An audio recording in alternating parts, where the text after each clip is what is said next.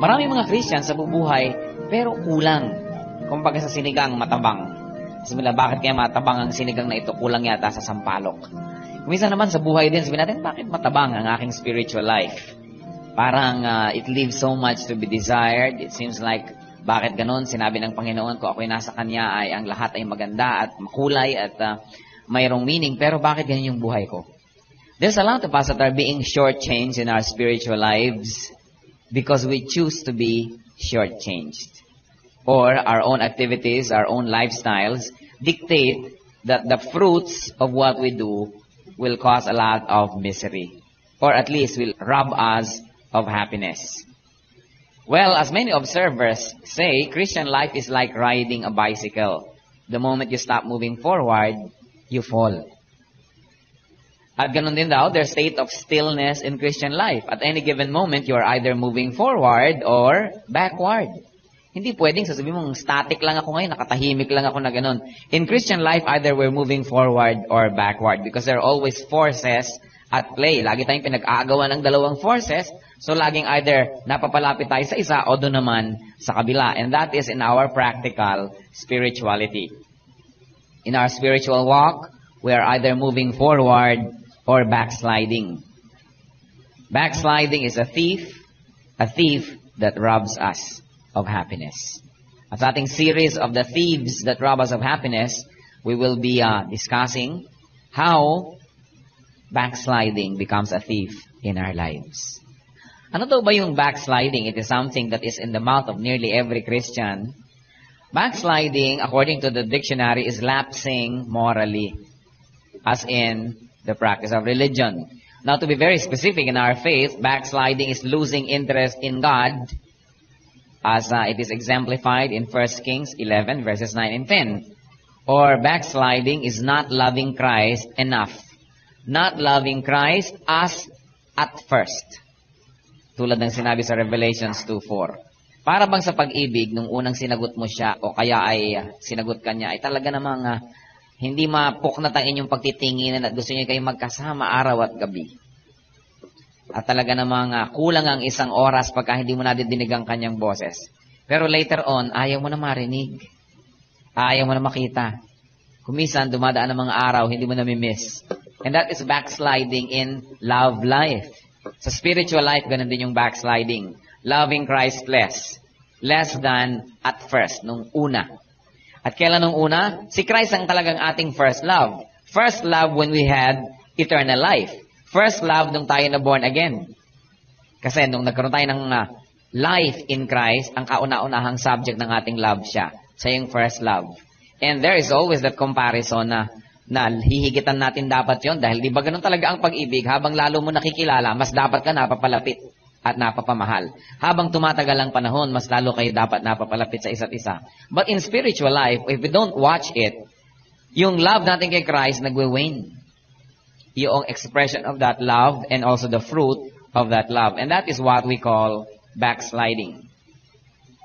Let's note that backsliding is first, it is first a condition of the heart. Hindi pa siya action. Condition of the heart the heart becomes cold to the Lord. Ayaw na mag-pray, tinatamad magbasa ng Bible, tinatamad mag-worship, tinatamad umaten ng Bible study, tinatamad mag-memorize ng mga verses. Just plain coldness. It is first an attitude. Backsliding can also be a rebellious condition of the heart. You know the word of the Lord and you rebel against it because it does not suit your personal purposes. Backsliding may also start as a sinful attitude. Not yet an action, but an attitude. When we question the very wisdom of God, or we know what is right to do, but we intend to disobey it.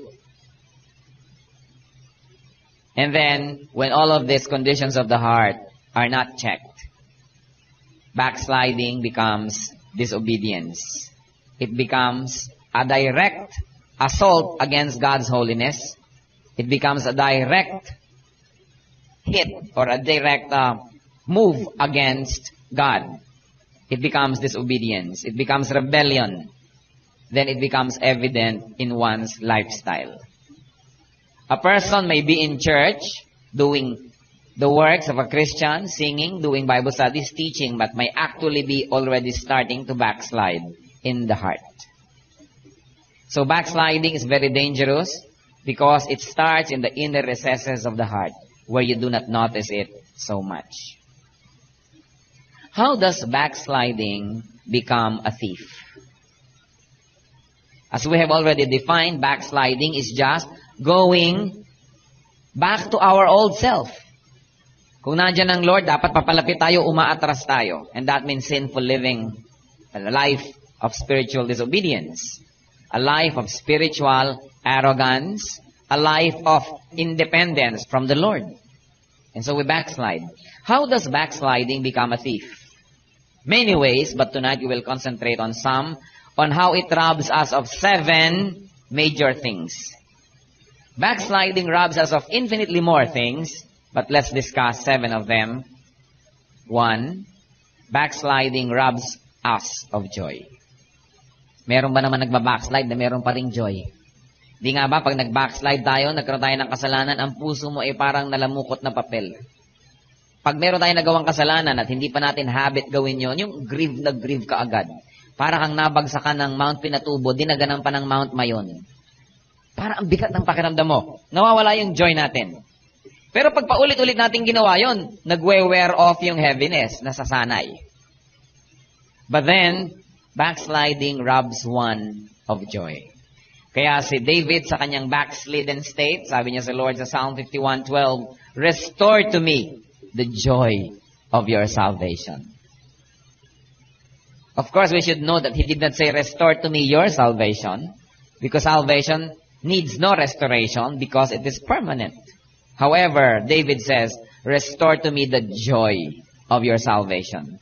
Because even though salvation may be permanent, its joy is not. The joy is dependent on our personal holiness. And so, backsliding, while it may offer pleasure, robs us of joy. Kaya, very cheap yung choice. Yung kapalit ay masyadong mura.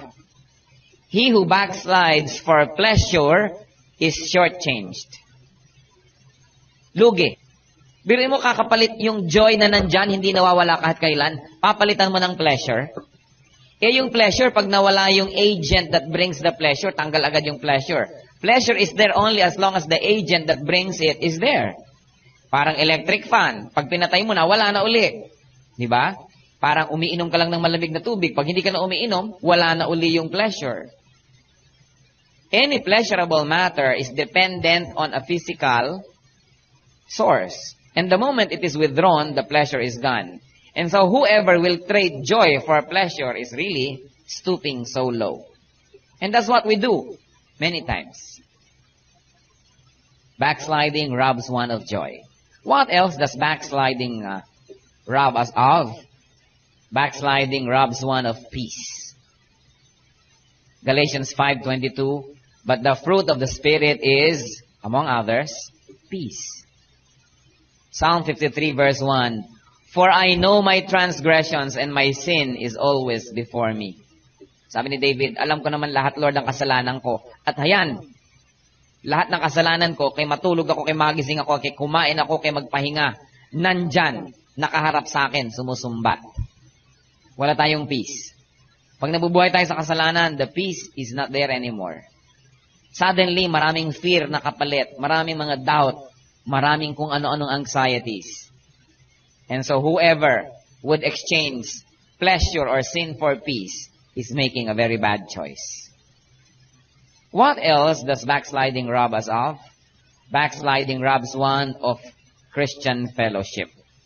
And I mean true Christian fellowship. One of the greatest uh, gifts that the Lord gives to a Christian is fellowship. One. Isipin nyo, isa sa mga pinakamagagandang regalo sa atin ng Panginoon, isang the best, one of the best things that ever happened to you. I'm sure it will be Christian fellowship. Next to salvation, Christian fellowship. Napakalupit ng mundo, pero pag magkakasama tayo, there is that joy, there is that support, there is that love. You hear all kinds of nasty things all over the place, but when we have the fellowship, we say good things to each other and we encourage one another. Or at least that's what should happen. And backsliding robs one of Christian fellowship. Paano nangyayari yon? Siyempre, yung backslider ba naman ay mahilig pang makipag-fellowship. Siyempre, unti-unti na yung nawawala. Una, yung three times a week niya, nagiging two times, hanggang maging once a week, hanggang dapat ay darating ng alauna, kumisan, ala na.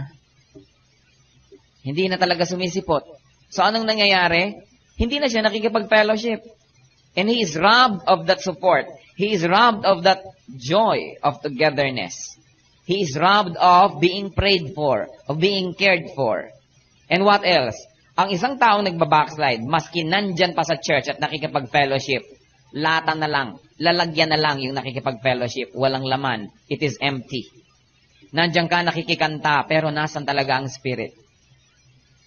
Pagka nagpe-pray, nakikipray, nakikiyuko, nakikipikit, pero nagpe-pray ba ang kaluluwa? Kaya pretty soon, even though you may physically fellowship, but if the spirit is not there, then the body will also go because there is no more benefit from the fellowship. At yan ang isa sa mga grabing lugi, kalugihan ng isang tao nagbabackslide. Nawawala siya sa fellowship. Nawawalan siya ng gana. Yung dating may katuturan, bali wala na ngayon.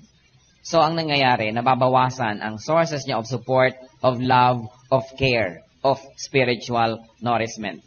It is a grave loss. While people may be formally there, the body is there, but essentially they are not there anymore. Wala na ring true fellowship yon. Because those that fellowship must fellowship in spirit and in truth. Kaya nandyan ka nga, present ka nga, pero wala rin nangyayari sa puso. Kaya mamaya, madadala ka na, hindi ka na rin darating.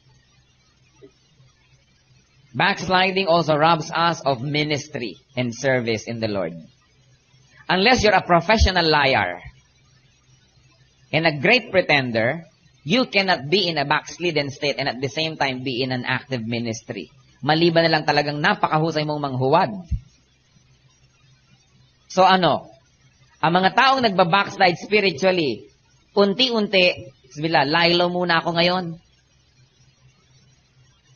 Ah, leave muna ako ngayon. Hindi na muna ako ngayon tutulong. Magpapahinga na lang muna ako ngayon. Yan ay excuses lamang. Ang ibig sabihin lang yan, even before they say that, matagal nang naputol ang spiritual link. Ngayon, ginagawa na lamang na formal. Because essentially, it was already cut. Now you want to do it formally. Kawawa ang isang taong nagbabackslide sapagkat nawawalan ng fellowship at nawawalan ng ministry. Bakit naman siya umaalis sa ministry? Kasi a person that backslides feels out of place. A person that backslides creates a ghost out of shadows. Kahit hindi mo inuusig, akala inuusig mo. Meron kang sinabi, akala pinaparinggan mo. Ganon talaga ang taong may sugat, madaling masaktan. At ang taong umaaray, tinatamaan kasi. So kahit kumisan wala ka namang ibig sabihin, akala meron kang ibig sabihin, eh paano yung guilty? And so ang nangyayari, sila na mismo ang umaalis sa ministry. Nawawala naman ng joy sila sa ginagawa nila, bakit pa nga naman itutuloy? O kaya naiilang sila sa mga kasama. At kadalasan, pagtalamak na ang backsliding, sila man mismo nang hihinayang sa panahon o pagod nila sa ministry. Kaya umaalis na lamang. A backsliding person is robbed of ministry and service. And if you are robbed of ministry and service, what happens? You are robbed of the privilege of gathering up for yourself treasures in heaven. Ikaw din ang lugi. Yung taong nasa ministry, nagpapagod, naghihirap, mukhang kawawa. Hindi, because God is a God of justice. And God knows how to repay. He repays a hundredfold, a thousandfold. Paano ka pang mananatili sa ministry kung wala na ang iyong puso? Sabi sa Amos 3.3, Do two people walk together unless they agree? So how can your body be in a place where your spirit does not agree? So pagka ang spirit hindi naka-agree, sumusunod na yung body.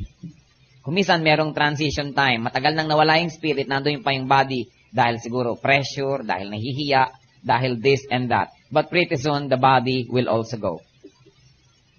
Unless you're a professional deceiver, you cannot backslide and maintain your ministries. Kaya nakakalungkot. Ang mga tao, pagka umaalis sa ministry, maliban na lamang that they are going to a better ministry, will choose very low. Kumisan gustong magkaroon ng nobyo, hindi mag-jive ang schedule, kaya nagre-resign na lamang sa choir, nagre-resign na lamang sa Sunday school, at nang mas maging malaya na makipag-date. Halimbawa ay gustong uh, maki-apid at gumawa ng kung ano-anong relasyon, eh syempre, siya man ay nahihiya na pinagsasabay, maglilib na lang muna. So anong nagsasuffer? Ministry. Don't leave your ministry unless you are moving to a better ministry. Otherwise, you are choosing too low and making yourself very cheap. Nangyayari sa atin lahat yan. Kung hindi natin babantayan, minsan gusto na nating tumigil sa ministry, gusto na nating umalis o umayaw, tanong natin sa sarili natin, and I'm sure there's one reason, we have backslidden. Huwag mo sasabihin, kasi I feel holier than them, mas mataas ang calling ko kaysa sa kanila, hindi compatible. Kaya, aalis na lang ako. Kasi kung talagang mas mataas ang calling mo, di ili-lift up mo sila. Yun naman ay kung totoo yung claim. No one can serve two masters. Either he will hate the one and love the other, or he will be devoted to the one and despise the other. You cannot backslide and serve God effectively. Hindi compatible hindi pwede. Namimili lang tayo. And it is my prayer that in the right time, when given the choice and forced to choose, we will choose the higher ground. Hindi yung escapist na to simplify matters, titigilan ko na lang ang ministry ko. It doesn't simplify because you are robbed. Ikaw ang kauna-unahang nalulugi. Backsliding also robs us of divine protection. Sabi sa John 10, 3 to 4, at ang background nito, alam niyo po sa Israel noon, uh, halimbawa, may mga pastulan, kung saan-saan kumakain ng mga tupa, mga kung saan-saan mga damuhan. Pagkagabi, usually, merong mga napupuntahan niya na shelter, merong mga fence, at may mga gate. At kumisan, pinauupahan ng mga tao yung kanilang tulugan ng mga tupa na yon para kung nando ka sa lugar na yon, sa gabi doon mo ipapasok kayo mga tupa. Pero maraming gumagamit noon, kaya maraming may mga tupa-tupa, kanya-kanyang tumpok yun. Kaya ang nangyayari ko minsan, sa gabi may pumapasok para magnakaw. Meron naman, sisipol, akala ng mga tupa, yun na yung amo nila, tayo ana, alis na, susunod. Nananakaw sila. Kaya ang sabi ng Panginoon, sa John 10:3 to 4, The watchman opens the gate for him, yun daw yung tunay na shepherd, ha? And the sheep listen to his voice. He calls his own sheep by name and leads them out. When he has brought out all his own, he goes on ahead of them, and his sheep follow him because they know his voice. Para ang isang tupa ay sumunod sa isang maling amo, baka dalhin siya sa matadero at hindi pa oras ay maging na siyang chops, maging lamb chops na siya, di ba? O maging barbecue na siya. Kaya napaka-dangerous not to hear the voice of your master and to follow another voice. Or it is dangerous to hear the voice of your master and not follow. Kasi pag naglalakad sila, kumisan may mga matatarik na bangin, mga makikitid na landas lang sa gilid ng bundok ang dinadaanan nila, pag hindi sumunod ang mga tupa sa tawag ng kanilang mga may-ari, ay kung saan-saan nahuhulog, naliligaw. At ang tupa, pag naliligaw naman, ay hindi malaman kung paano babalik. Mabuti pa ang pusa. What is the significance? Para tayong tupa. Ang Panginoon laging tumatawag sa atin. Ang nagba-backslide, nadidinig yung tawag pero hindi sumusunod. He goes on his own. And what happens? He goes outside of God's protection. Eh, lumiko ka dyan, nahulog ka, edi eh, pasensya ka. God protects those that are under His shadow, pero hindi naman siya namimilit. At kung literally ay mayroong mga magnanakaw, mga wolves, at mga danger, ganun din sa ating spiritual life. There's a lot of wolves lions that are waiting for a chance to jump and pound on us. If we do not listen to the voice of the Master, we expose ourselves to peril, to unspeakable danger. And so therefore, backsliding robs one of divine protection. Meron ba naman isang backslider halimbawa na pupunta sa isang bawal na lugar at sasabihin, Lord, please go with me. Mabuti kung nakapapanalangin ng ganon gagawa ng isang masamang bagay at Lord, huwag mo po akong ipapabuko. Meron kayang gano'n na nagpe-pray. So, hindi nila talaga nagpe-pray. Dahil napakakapal naman ang mukha ng isang Christian, nagagawa ng masama, ihihingi ng blessing. So ang nangyayari, we abstain from the protection of the Lord. We get out of the Lord's protective fence, and so therefore, we expose ourselves to danger. Another robbery, backsliding robs one of divine blessing. James 1:6, and a paraphrase of it, a double-minded man, unstable in all his ways, should not think he will receive anything from the Lord. Kailangan meron tayong singleness of purpose, singleness of devotion and dedication to receive blessings from the Lord. And so therefore, a backsliding person does not only get out of God's protective fence, he also gets out of divine blessing. Now, siguro may mga nagbabackslide na nagpa-prosper. Nagtatagumpay, sumisikat, yumayaman. But that is only material blessing, remember. And all material things are temporary. Hindi pa tapos ang buhay. Hindi ko mo prosperous ka ngayon, ibig sabihin prosperous ka na forever. Ibig mong sabihin, crime pays. Crime does not pay. And sin does not pay. Nag-a-advance lang yan, pero pag yan ay sumingil, napakalaki ng interest. And so therefore, backsliding robs one of divine blessing. And there's an even more immediate robbery that can happen if we allow backsliding in our lives. And this is seven of the seven that I like to share with you. Backsliding may rob one of earthly life. Ano ibig sabihin natin?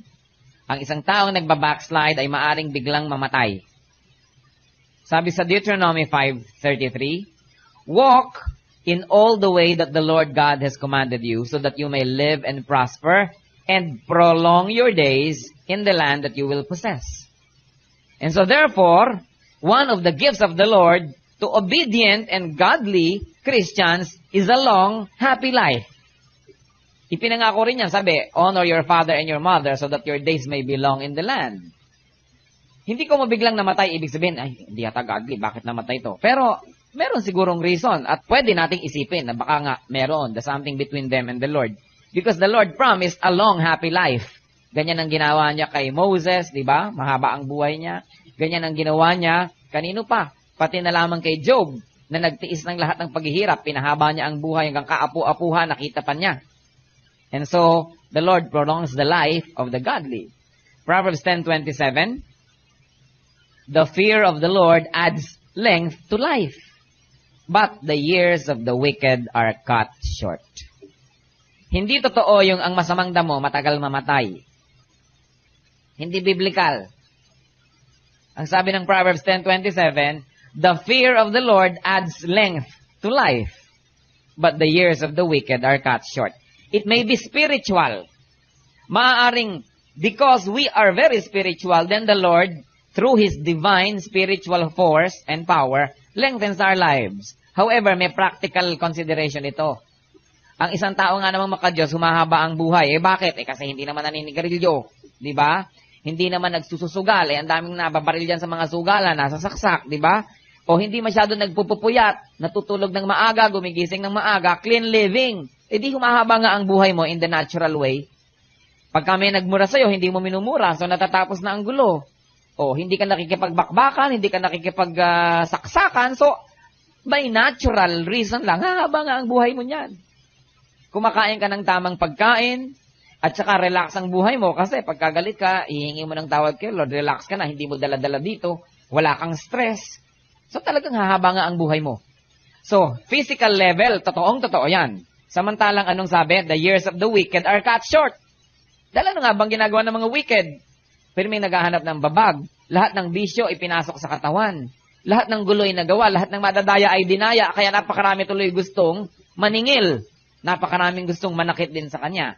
So on the practical physical side, it is true. And also it has a spiritual side. That those that are the lights to the Lord, pinapahaba naman ni Lord para maging blessing din sa iba yung buhay nila dito. Anong sabi ng Revelations 2.5? Remember the height from which you have fallen. Repent and do the things you did at first. If you do not repent, I will come to you and remove your lampstand from its place. Akala nung iba, natanggal yung salvation. Life, not salvation, is removed. So light has always been a symbol of life sa Israel eh. Kaya ang mga bahay dyan, kahit gabi may ilaw. Kaya sabi, ano ba namang klaseng bahay ang walang ilaw sa gabi? Because they equate darkness with death. So pag sabi, tatanggalin ko yung kandila mo dyan sa kandelabra, ay tatanggalin na ang iyong buhay. So in other words, kung patuloy tayong nabubuhay sa tigas ng ulo at kasalanan, maaaring any moment ay bigla na lang tayong mamatay. Without rhyme or reason. Pero yun pala, may rhyme at may reason. Because the Lord has said, If you do not repent and continue in your hard-headedness, I will remove your lampstand from its place. Bigla ka natigbak, nagtaka ka pa. Yung pala siguro, ay malayo tayo sa Diyos. Hindi lahat ng bigla-bigla na lang namamatay, judge natin ay malayo siguro sa Diyos. But it's one of the probable choices and probable reasons why people, out of rhyme and reason, die. Isa rin yun, of course, na assurance na anak ka nga ng Panginoon. Kasi kung talagang ang buhay mo, ibubuhay mo lamang as a shame to the church, as a shame to the gospel, as a shame to the Lord, eh kukunin ka na lang niya at ang matahimik ka na. But of course, although nag, to die is gain ka at nagpunta ka rin sa heaven, pero nawalan ka ng opportunity to gather for yourself treasures in heaven. Nandun ka na agad. Nawalan ka na ng opportunity to serve the Lord. Katulad na lang yan yung deathbed conversion yung kung kailan na lang mamamatay, tsaka nag-accept kay Lord, na-save nga, pero hindi nagkaroon ng opportunity to gather treasures in heaven. And so, backsliding is a thief that robs us of so much. How can we stop backsliding? Hindi na tayo magsa-survey kung sino mga nagba-backslide at kung gaano. Siguro lahat tayo. At any given time, you're either moving forward or backward eh. So there's always some backsliding involved. Yung iba lang nga, grabe, grand scale. Yung iba, hindi masyado. Pero we should all be guilty of this somehow. How can we stop backsliding? We should repent. Repent of all our sins that we commit after salvation. And there are five R's of real repentance. Limang R, madaling tandaan. To really repent, first you reflect. Kailangan mag-isip. Kung hindi tayo mag-iisip, marami tayong backsliding na nangyayari, hindi natin napupuna. Akala natin okay lang. Akala natin natural lang yun, pero hindi. And so first is reflect. Think. Search. Study your life. Bawat kasulok-sulok ang aspect ng buhay natin, dali natin under the scrutiny of a microscope and see if there is backsliding that goes undetected. Reflect, and then another R, realize that there are mistakes and realize that if there are mistakes, we are in terrible condition. That we are distant from God. And after reflection and realization, we must return to the Lord. We've got to return kahit anong agwat, anong distansya natin from the Lord, dapat tayong bumalik. Return to God. Return to your first love. Anong sabi ng Revelations 2, 4, and 5? Yet, I hold this against you, sabi ni Lord. You have forsaken your first love. Remember the height from which you have fallen. Repent and do the things that you did at first. Gaano ka-close tayo kay Lord nung unang-una tayong Christian? Gaano ka-excited tayo magbasa ng Bible? Gaano ka-excited tayo umaten ng Bible study? Gaano tayo ka-excited mag-memorize? Gaano tayo ka-excited kumanta? makipag-fellowship with Christians. Naku, talagang hindi mo mapigil. Harangan mo man ng sibat, hindi mapigil mag-aral, kumanta. Nung araw, gustong-gustong magka-Bible. Magka-Bible na magka-Bible lang ako talaga. Babasahin ko lagi. At ngayon, ayun ang Bible. Dikit-dikit ang mga pages sapagkat hindi naman nabubuklat. What do we have? Yan daw mga Christians na napakalinis at ang ganda ng Bible ay delikado yan. Ibig sabihin, hindi yan nabubuklat. Mas mabuti pa yung andudumi ng Bible at wasak-wasak. Baka nga binabasa. Liban na lamang kung inuunan o kung ano-anong ginagawa. Ano? Baka naman bigla nyo dumihan ng mga Bible ninyo pampa-impress. Diba? Pero ang point natin is talagang ganon. Pag ginagamit yung Bible, durug-durug. Kaya kita-kita mo hindi gumagamit ng Bible, ang lutong ng mga pages, ang puputi pa. Sabi niya, I hold this against you. You have forsaken your first love. Nasa na ba ngayon ang pwesto ni Lord sa puso natin? Right now, first ba talaga? Return to the Lord. And of course, when we return, we leave the world or we leave our worldly company. Naku, kuminsan, nag-camp, hot na hot sa Lord si babae, hot na hot sa Lord si lalaki, eh nagkita. Naging magnobyo, ngayon sila na ang Diyos ng isa't isa, nakakalimutan na ang Diyos, nakasama ang isa't isa sa kanila. It can happen. Relationships can become idols. Hindi makatulog si babae hanggang hindi tumatawag si lalaki. Pero kahit na hindi magbabasa ng Bible, nagihilik pa. Pwedeng pwede. Meron pang, huwag na muna tayong umaten ng fellowship ngayon, ano? Wala naman tayong privacy dun eh. Mag-prayer meeting na lang tayong dalawa sa Paco Park.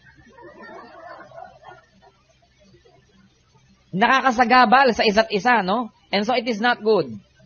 We've got to return to God. And another R, of course, restore. Have yourself restored by the Master Restorer, the Lord Himself. Restore yourself through God's power. Remove what does not have to be there and put back into place what is needed but you removed for a while for convenience. Restore.